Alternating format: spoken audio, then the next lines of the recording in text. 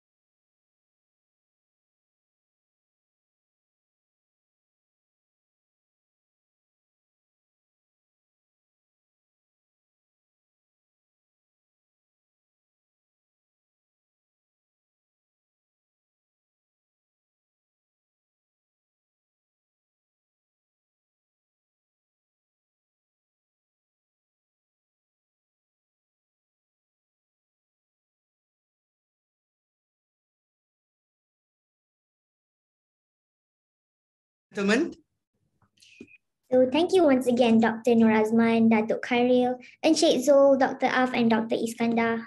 May we now present to you a short video on both companies for your viewing pleasure.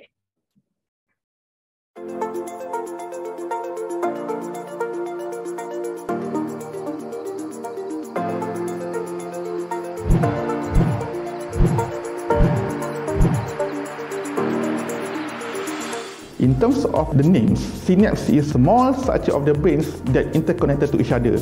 We have millions of these neurons inside our brain that highly interconnected to each other. We found that this is very related to what we are doing, especially on solving the, our clients' problems.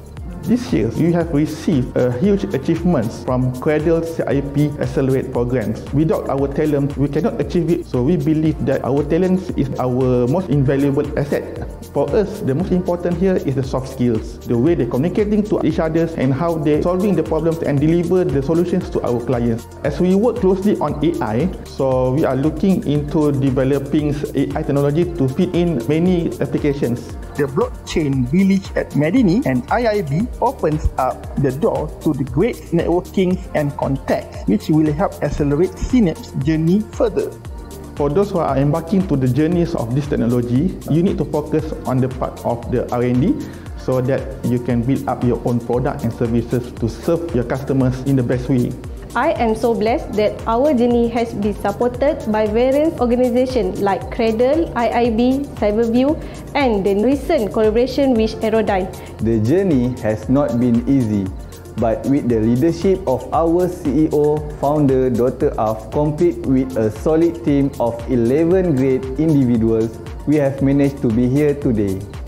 Hello Iskandar Putri, can't wait to continue our journeys in Medini. Thank you IIB, See you there.